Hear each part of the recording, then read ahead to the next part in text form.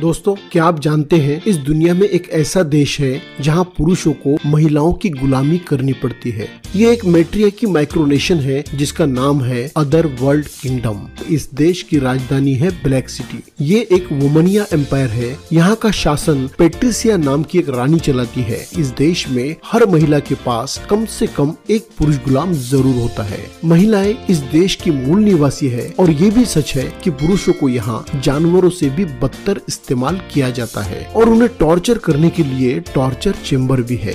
यहाँ पुरुषों को नागरिकता नहीं दी जाती। महिलाओं को नागरिकता पाने के लिए कम से कम पाँच दिनों तक रानी के महल में रहना पड़ता है। कोई भी बाहरी पुरुष अगर इस देश में आता है तो सबसे पहले उसे रानी के लिए सोफा बनना पड़ता है, जिस पर रानी बैठती है। अगर किसी गुलाम को शराब पीनी हो तो शराब को पहले मालकिन के पैरों पर डाला जाता है और उसके बाद ही कोई उसे पी सकता है। दोस्तों, सरहदों को लेकर पड़ोसी देशों के बीच अक्सर तनातनी देखी जा सकती है और इसकी सुरक्षा पर करोड़ों रुपए खर्च भी किए जाते हैं। लेकिन क्या आपको पता है, यूरोप में एक सरहद ऐसी भी है जो लोगों के घरों के बीचों बीच से होकर गुजरती है, जहाँ लोग एक देश में नाश्ता बनाते हैं और दूसरे देश में जाकर उसे खा सकते हैं, जहाँ नींद में करवट लेते ही देश बदल जाता है। दोस्तों, ये बॉर्डर बार्ले शहर में है। 1830 में नीदरलैंड और बेल्जियम के बीच जब बार्ले शहर का बंटवारा हुआ, तब बार्ले शहर का कुछ हिस्सा नीदरलैंड के हिस्से में गया, जिसे बार्ले नासायु के नाम से जाना जाता है, और कुछ हिस्सा